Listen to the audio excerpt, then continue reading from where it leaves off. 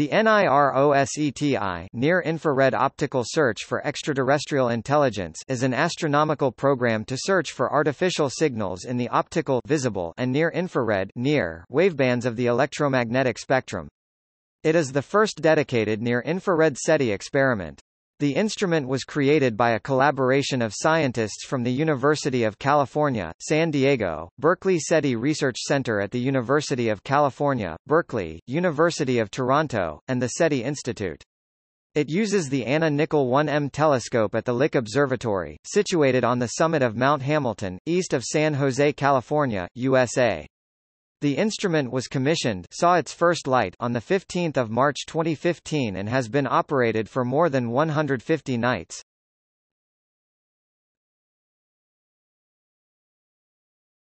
Topic. Overview The NIROSETI project is based on the assumption that hypothetical communicative extraterrestrials may send out pulsed laser signals in the optical, as well as infrared spectrum.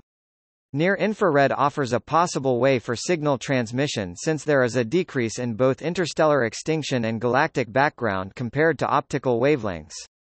The near-infrared bands remain largely unexplored because instruments capable of capturing short pulses of infrared light have only recently become available. The NIROSETI instrument makes use of the 1-meter optical nickel telescope located at the Lick Observatory in California to search for near-infrared laser transmissions from extraterrestrial communication or technosignatures. This project was funded by the Bill and Susan Bloomfield Foundation and is based upon a predecessor called Lick Optical SETI instrument, conducted between 2001 and 2006.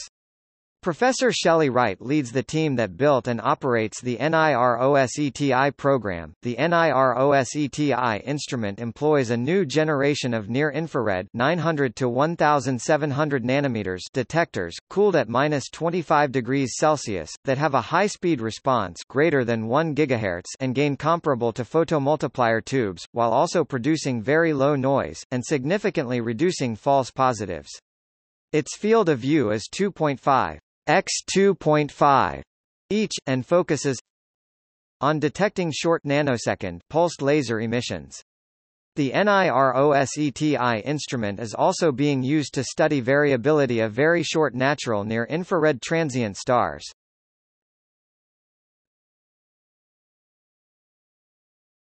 Topic: Targets The NIROSETI survey has been designed for observing several thousand objects over a few years, and commenced full operations on 28 January 2016. During a clear night of observations, about 20 to 30 objects are observed.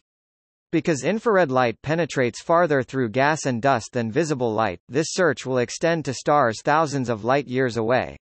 The initial target sample is mostly main sequence and giant stars located within 50 parsecs from Earth, drawn from the Breakthrough Listen program target list. The sample of targets also includes 82 galaxies for being the nearest representatives of the five major morphological classes of galaxies 20 spirals, 36 ellipticals, 15 dwarf spheroidals, 9 irregulars, and 2 lenticular galaxies, as well as stars that triggered alarms on other targeted SETI surveys. A significant drawback is that the extra extraterrestrial laser signals would need to be transmitted in the direction of the Solar System in order to be detected.